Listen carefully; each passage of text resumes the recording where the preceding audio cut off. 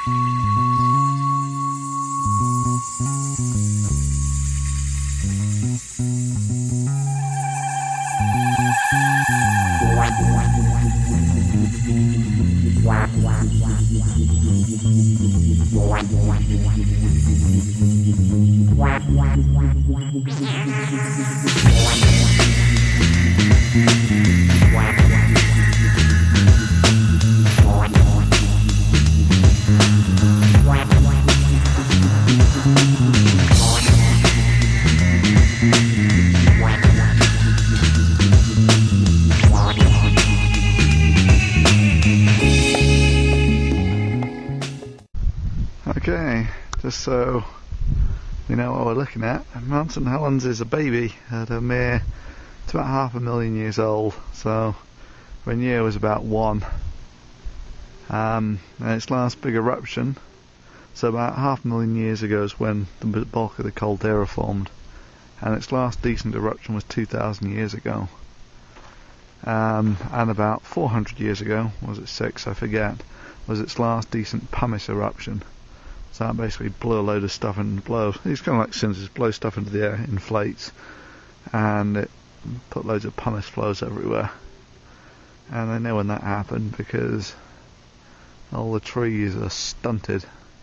Yeah, so it sort of stunted a load of trees for a few years in the locality, but didn't kill them, so they nail that from the tree rings. There, huh? You see, oops. All the lively stuff, isn't that fantastic?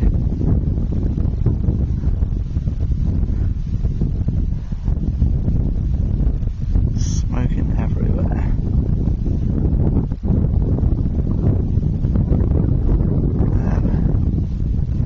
And this is a huge washout. It comes all the way down. All the way down.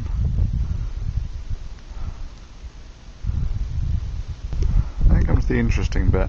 For all those creationists who say that this is proof that the Grand Canyon could have been formed almost instantly, you'll notice that this doesn't look anything like the Grand Canyon.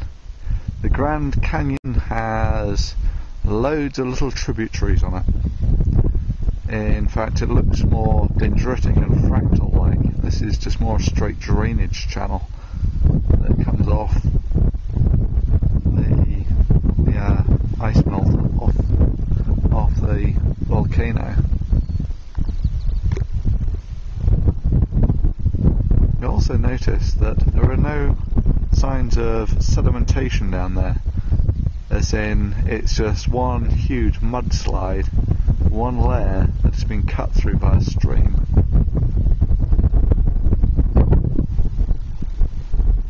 Impressive though. Very impressive. This is just another example of the flora here. So you get red, purple, yellow, yellow, and there's white as well. White, just in the middle there. Pretty, eh? Okay, so that's Mount St Helens down there. And the blast came down the valley along with the mudslide, which still looks pretty uh, alluvial. But in the shadow, the blast shadow, of all the mountains coming down here, there are trees that actually survived the blast. And on some of these ridges, like this guy over here, what you actually find is there are trees that um, they stood, but the the volcanic heat, the heat of the uh, blast that came down here, actually cooked some of the trees, so they died but remained standing. They weren't knocked over by the blast, but they were killed by the subsequent heat. Okay, this is the um, Forest Learning Centre, and it's got some really quite nice exhibits. Like this one, for instance, which shows that if you were within about 60 miles of the actual explosion, you wouldn't have even heard it. And indeed, over there, there's all these um, stories of people who were next to the volcano when it did explode, and they heard nothing. And so uh, there's a sort of resonant frequency um, between when you can hear it and when you can't. Um, anyway, indeed, you could have actually stood on uh, the uh, right side of the volcano. I forget whether it's uh, north or south, but either way, you could have stood on one end, one side of the volcano and been perfectly fine.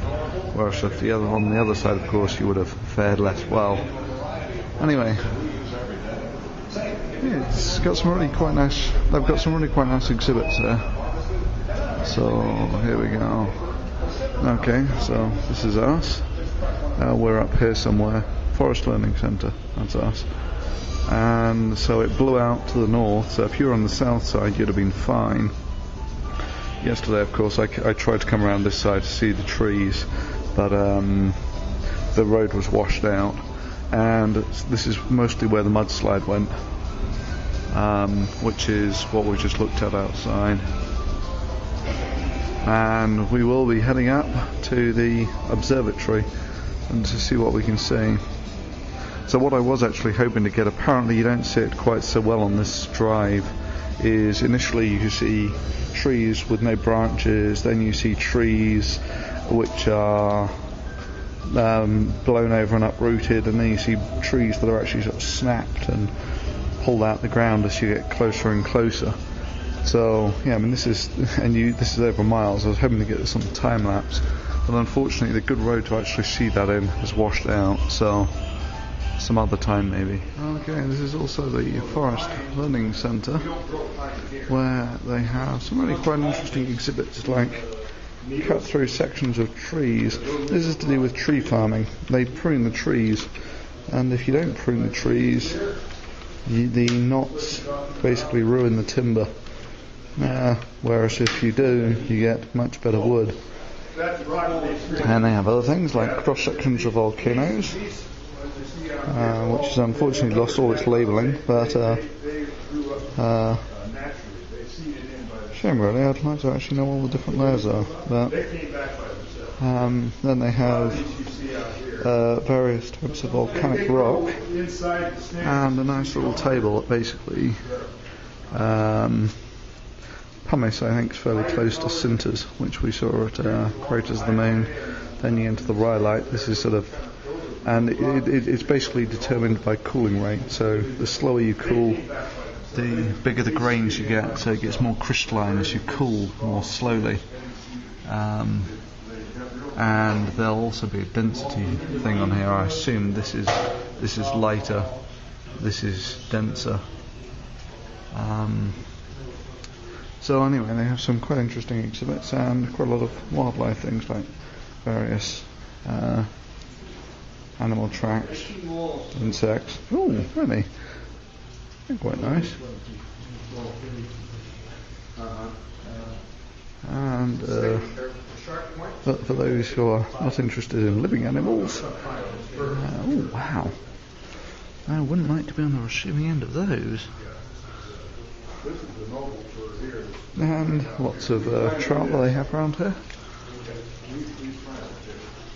And